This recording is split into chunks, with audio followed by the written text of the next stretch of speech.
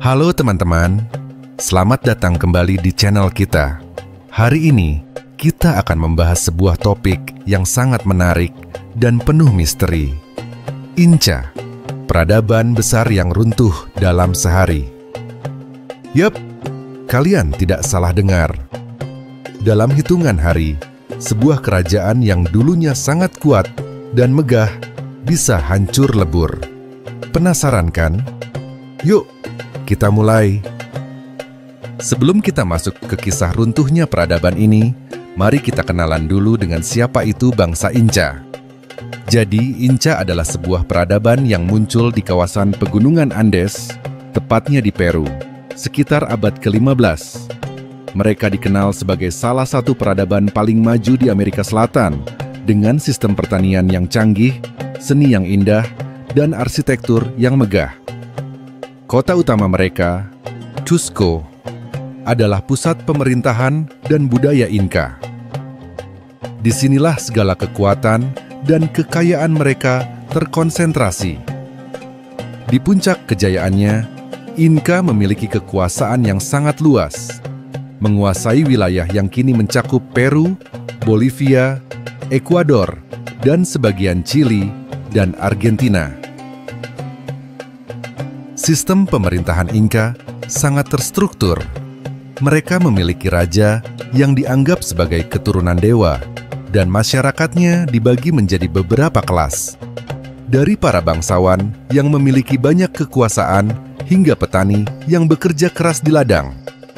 Masyarakat Inca juga terkenal dengan kemahiran mereka dalam teknik pertanian, seperti terasering yang memungkinkan mereka untuk bercocok tanam di daerah pegunungan yang curam. Selain itu, mereka juga memiliki bahasa yang disebut Quechua, yang masih digunakan hingga saat ini oleh banyak penduduk asli di Andes. Budaya Inca juga kaya dengan mitos dan legenda, serta praktik keagamaan yang melibatkan penyembahan kepada berbagai dewa, terutama dewa matahari, inti, Inca mencapai puncak kejayaannya di bawah pemerintahan Raja Pacacuti pada abad ke-15. Di bawah kepemimpinannya, mereka memperluas wilayah dan membangun infrastruktur yang mengesankan, termasuk jalan raya yang menghubungkan berbagai wilayah, jembatan gantung, dan sistem irigasi yang canggih. Seni dan kerajinan tangan mereka juga sangat terkenal, mulai dari tekstil yang indah hingga patung-patung yang menakjubkan. Tidak ketinggalan, mereka juga memiliki kemampuan dalam bidang astronomi yang membantu mereka dalam menentukan waktu dan musim untuk pertanian. Namun, seperti halnya peradaban besar lainnya, Inka tidak luput dari ancaman.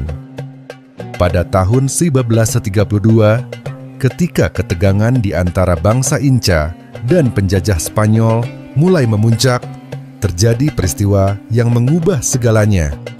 Francisco Pizarro, seorang penjelajah Spanyol, datang ke wilayah Inca dengan pasukan kecilnya. Dalam keadaan yang sudah tidak stabil akibat perang saudara di dalam negeri, kekuatan Inca menjadi rentan. Pizarro dengan cepat memanfaatkan situasi ini. Ia berhasil menangkap Atahualpa, raja terakhir Inca, dan memanfaatkan posisi tawar ini untuk mendapatkan kekuasaan dan harta yang sangat besar. Sekarang, mari kita fokus pada momen krusial yang membuat Inca runtuh dalam sehari. Setelah menangkap Atahualpa, Pizarro meminta tebusan yang sangat besar. Sebuah ruangan yang diisi penuh dengan emas dan perak Ketika tebusan itu berhasil dikumpulkan, Pizarro tetap tidak membebaskan Atahualpa. Sebaliknya, pada 26 Juli 1533, Atahualpa dieksekusi. Eksekusi Atahualpa adalah momen yang sangat menentukan. Tanpa pemimpin, masyarakat Inca menjadi bingung dan kehilangan arah. Pizarro dan pasukannya mulai merampas kota-kota Inca satu persatu. Dalam waktu yang relatif singkat, kekuasaan Inca yang dulunya megah runtuh. dan kota Cusco jatuh ke tangan Spanyol. Apa yang terjadi setelah kejatuhan ini sangat mengejutkan. Banyak budaya, tradisi, dan bahasa yang hampir punah. Bangsa Inca yang tersisa harus beradaptasi dengan kekuasaan baru yang datang. Mereka dipaksa untuk bekerja di ladang dan tambang milik Spanyol. Ini adalah periode yang sangat sulit bagi mereka, di mana banyak yang mati akibat penyakit yang dibawa oleh orang Eropa seperti cacar dan campak. Meskipun peradaban Inka telah runtuh, warisan mereka tetap hidup hingga kini. Banyak situs arkeologi yang bisa kita lihat, seperti Machu Picchu, yang merupakan salah satu keajaiban dunia dan menjadi simbol kebesaran peradaban ini. Selain itu, banyak aspek budaya Inka, seperti bahasa Quechua, masih digunakan oleh masyarakat Peru dan negara-negara sekitarnya.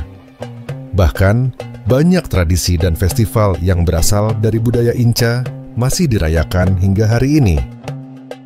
Jadi, itulah cerita tentang Inca, sebuah peradaban yang sangat besar namun bisa runtuh dalam sekejap.